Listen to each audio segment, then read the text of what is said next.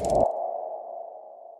大家好，欢迎收看科幻 movie。今天介绍的电影是猴子。小法的妹妹萌萌总幻想自己是一只猴子，在家里上蹿下跳的。其实萌萌得了一种特殊的病，在给萌萌治疗之前，一家人带着萌萌去了泰国的动物园。萌萌把动物园里的猴子视为同类，从此她更加的淘气了。日子一天天过去，萌萌的牙齿掉光了。大人们没有告诉小法妹妹的病情如何，但懂事的他早已察觉。他偷偷要妹妹答应自己永远不分开。然而没过多久，萌萌还是去世了。小法很想念妹妹，但是日子还是得继续。父母经营的滑雪场没有什么。生意家里陷入了经济危机。一天晚上，小法听着一阵响声，是一只猴子跑了进来。他打着手电筒追了出去。树林里有动静，小法叫醒父母，对他们说是妹妹回来了。可父母却不相信他的话。小法取了一点香蕉片，猴子果然回来了。两人头对着头，就像小法过去和妹妹常常做的那样。第二天醒来，父母坐在客厅，一只猴子正在客厅的灯上荡秋千。小法非常兴奋，这只猴子把家里搞得翻天覆地，就像萌萌一样。一家人都很欢迎猴子，他们把猴子当成了萌萌一样爱护。萌萌。的外婆无意中发现了猴子的存在，她对一家人把猴子当做萌萌的行为感到很吃惊。外婆坚持要把猴子送走，小法却说猴子就是萌萌。外婆只当小法太难过，说的胡话罢了。虽然外婆没能把猴子送走，但她把这件事传了出去，人们都知道了小法一家有着猴子的事情，大家纷纷上门来看猴子。妈妈淡定的把猴子放出来给大家看，猴子用自己的魅力萌化了众人。为了缓和家里的经济情况，一家人准备把滑雪场后面的那片森林可以改造成丛林乐园，邻居们也赶。来帮助他们，小法一家找来了投资人。本来事情谈得挺顺利的，但是投资人的儿子慕斯出言调戏小法，还说小法是在自欺欺人。猴子本就不是萌萌，小法恼羞成怒，冲了上去和慕斯打架。打得正激烈的时候，猴子把慕斯的屁股给咬了。小法扯开了猴子，猴子坐在地上十分委屈，扭头便跑开了。大人们都跑出来查看慕斯的伤势，只有小法去找猴子了。投资人非常生气，他们拒绝给丛林乐园出钱了。小法找回猴子之后，一家人决定要好好改造猴子，他们。禁止他用手吃饭，也不允许他在沙发上跳来跳去。猴子逐渐变得郁郁寡欢。为了让猴子开心起来，一家人带猴子回到丛林中。他们偷偷把猴子带到了泰国的丛林，让他回到了同伴的身边。死亡其实是另一种生命的延续，正视死亡也是一种勇气。更多精彩，下期再见。